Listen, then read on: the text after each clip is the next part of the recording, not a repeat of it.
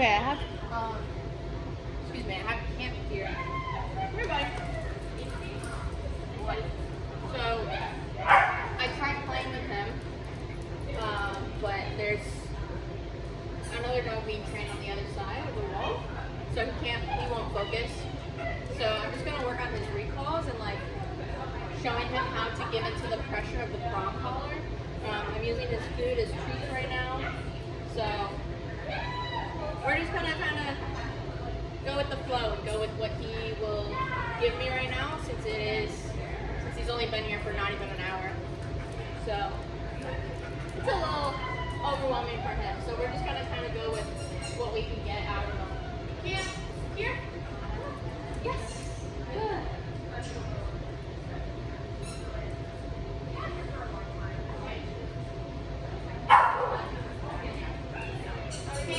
Here. Yes.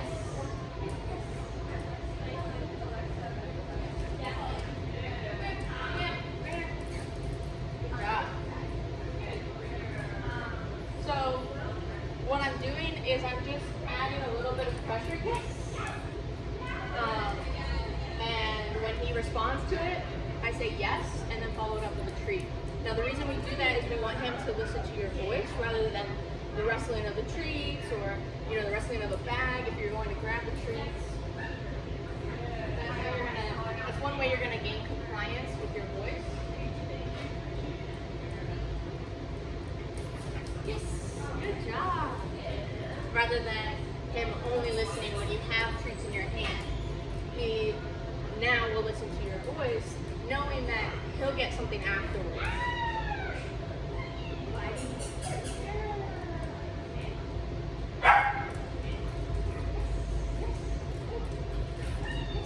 Good.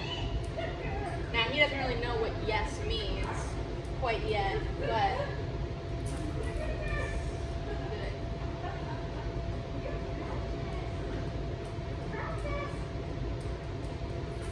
Yes.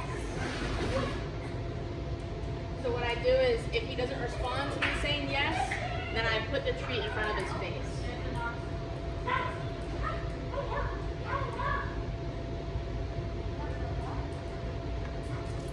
Yes, good boy. Good job. So I'm teaching him that when that pressure comes on, I want him to respond to me. And then once he responds, I release that pressure and I stop um, doing the, the pop release. Yes, good Good job, Tam. Good boy. Good job.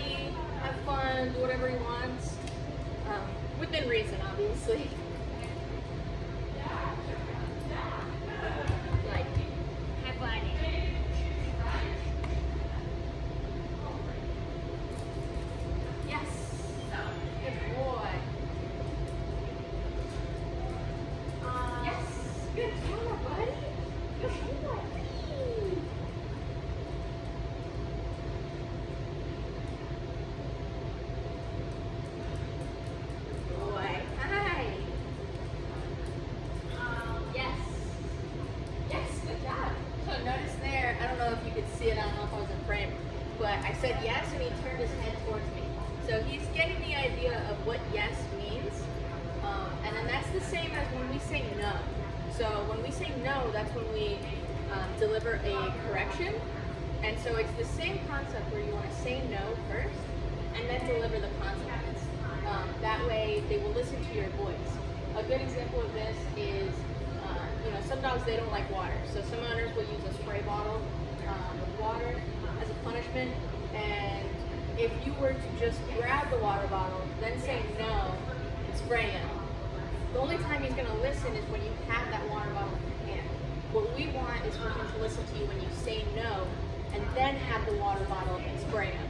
Um, so with any correction that we have here, whether it's the e-collar, the prong collar, um, poking at the side, um, you know, we want to say it first and then deliver the consequence. So we have that compliance to our voice. So eventually you'll be able to say he breaks position, you can say no, and he'll be like, oh crap, and he'll correct himself, or not correct himself, but fix whatever it is that he did wrong, um, all on his own. So then we don't have to give him corrections all the time and, and constantly be giving him input. Eventually it can just be, hey dude, don't do that, and he's like, oh okay,